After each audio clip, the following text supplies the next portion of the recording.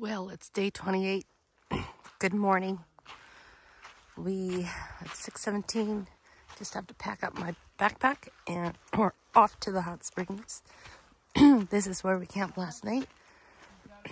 We had some visitors from some little furry things, but with my stealthy skills, I was able to battle them off, and all of our food is safe. So let's see how fast we can break this camp and get on up. I can already feel a warm gust of wind. She's gonna tell us how. It's a pokey day to hike the PCT. Look at this beautiful view. Wow. You can go ahead, Just wanted to show everybody this tall, beautiful grass and the sunshine. Wow. So pretty. Well, we made it to the hot springs. Oh my God. I cannot wait. This is gonna be so amazing. So this is Deep Creek Hot Springs. There are many pools. Oh, and lots of squirrels. You can see a big one over there. They go after everyone's food and literally uh, dig through them. Oh, that looks cool. This water is so clear. I'm just wondering if this one's hot or cold. That one's cold. Oh my God, this is so nice. And then you go over here, there's Alex. Then you go over here and there's some more hot springs here. Actually, no, there's a better spot over here. Let me show you. This is the coolest thing in the whole wide world. It's Charlie. So come down this path, and there's like four. These are all hot springs. It's like, what? What? Look at that. And there's our friend, our fellow hiker. Oh, and as he was saying, there's three more pools behind him. There's three more. There's one in the middle, one right below it, and the hottest one is like way down there. Nice. If you go around, just going through here slippery. You might crack your head. I don't want to do that. Yeah, so just go around. I mean, that's the way you can access Perfect. Okay, thank you. Okay, no time to waste. We're going in. Oh my god, you guys. Where, where are we? Oh, this is so nice. it's like this. We're in. Ah, see, this is why I liked PCT. Gotta keep on going because there's cool stuff like this. yeah, pretty nice. Well, that was incredible. Like truly incredible. I cannot express that is like super hot. How awesome this was. And this is where the hot water comes out of. And then it flows into this garden oasis. And if I can describe what we just saw in there, there were trees with butterflies and dragonflies, Erica. Erica, you would go nuts. There were dragonflies that were red, blue, green. I thought they came in one color. There were butterflies. There were frogs, tadpoles.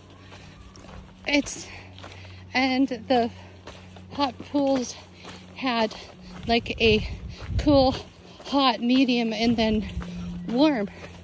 It's probably the most magical place I've ever been to. It had flowers growing out of the rocks, and had rope swing and kids laughing, and it was really nice um, when we were here earlier this morning because it was so quiet. And as I get older, you know, kids can splash and makes it less romantic. But I sadly say goodbye to this magical oasis, the hot springs in the middle of the PCT. So, look at this. It's a rainbow bridge. You can see the colors from the, um, coming down the steep bank we just came down. But, oh, wouldn't that be so cool? If all the puppies and all the doggies that we've lost were on this other side. That would be very cool. But sadly, it's just more desert. That's where we came down. This is the strangest thing. We finally got to the end of um, the last thing I filmed. And there's a big, huge dam. Like in the middle of the desert. And it just makes me go, hmm. Apparently it's like a U.S. Navy water carrier holder thingy. But anyways, um, it just looks so bizarre within this landscape. And then I love how the water supplies all the green so really pretty. Here's another view of the dam at, sea level, shall we say. It's not sea level, I know, but it's our sea level right now. But yeah, I'm sure I'll learn some more about it and let you know. Well, I have to say, what happens on the trail is very interesting. We just went to this tavern or bar, I'm not quite sure, but it was pretty cool.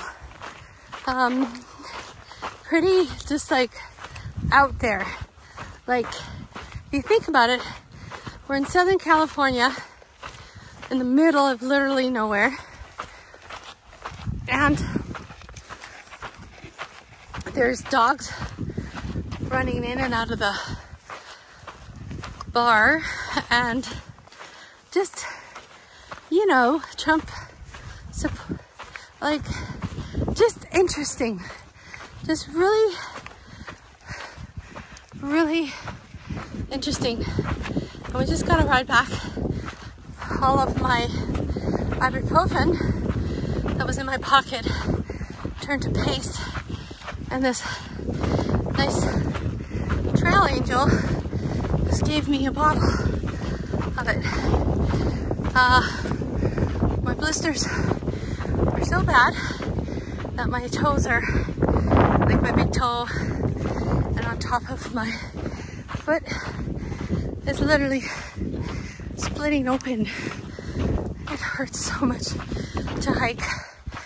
Um, but uh, that's that magic experience at the this water carry killing me. So we have lots of water because we have to carry some for breakfast and then all day tomorrow, which is gonna be super hot. And I think we're gonna do 27 kilometers tomorrow. I just don't know what to do with my blisters. But anyways, life on the trail is always extremely exciting, very exciting, and very tiring. I cannot wait to get in my tent. It is day 29, 6.30 a.m. departure. It's actually a cool morning. Um, and this is the first time we've seen clouds since day one. Check those clouds out. So last night, there was some type of party going on over there. Um, we can hear music, maybe possibly a rave? Not sure. Today's goals are to go 26 or 29 kilometers and that will bring us um, within reach of Wrightwood. Yesterday was just the best and between the the pools and the strange bar we went to, pub. I'm not sure what that was, but it was a really fun day. It was a late night. We did some night hiking. So let's see what today brings. Um, there's nothing but desert on the menu for today. Um, I did hear there was some type of fruit stand. So hopefully we can get some fresh fruit because we're kind of doing it right. We're almost out of food. Um, we got some ramen for tonight and ramen for tomorrow. And there's only one package each. And um, breakfast was a little slim pickings. I put some oatmeal, some chocolate protein powder, and some rice flour. Uh, but I'm hungry. That's okay though. My goal is to lose some weight and so far so good. I think I've lost 14 pounds. You can see it in my face actually. The jowls aren't as long thanks to my daddy. Him and his jowls. He was sure to pass that down to me. But um, yeah, so this is today.